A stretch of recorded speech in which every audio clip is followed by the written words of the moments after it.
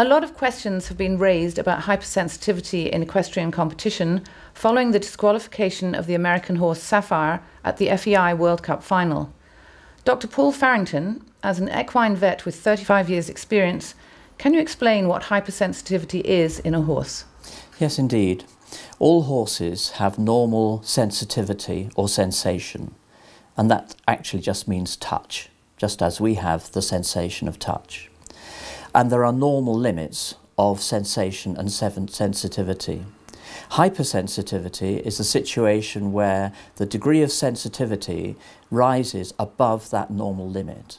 Hypersensitivity is painful for the horse. So, what is the difference between hypersensitivity and hypersensitization? Hypersensitivity, as I say, is when the normal sensitivity is raised above normal limits.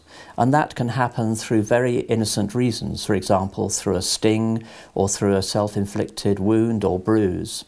Whereas hypersensitization uh, is the situation where hypersensitivity is abnormally produced through artificial means. Can you describe the procedures used to test for hypersensitivity and hypersensitization? Yes, we have a well developed protocol for this now. Um, the process of normal examination is a combination of the use of a thermography camera to detect heat patterns on the horse's legs, and we can then detect what the normal pattern is and what an abnormal pattern is. This is used in combination with a complete clinical examination of the front of all four legs from the fetlock down to the hoof.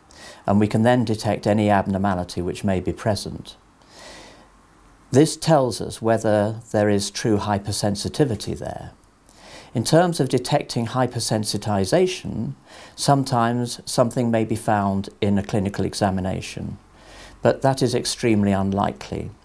So any horse that is found to be hypersensitive is then subjected to medication control program testing by the means of taking urine and blood samples and also taking leg swabs to detect any prohibited substance. Whenever we are carrying out the testing, it is always done by at least two experienced equine veterinary surgeons. And in the event of hypersensitivity being found, we always record that reaction on video.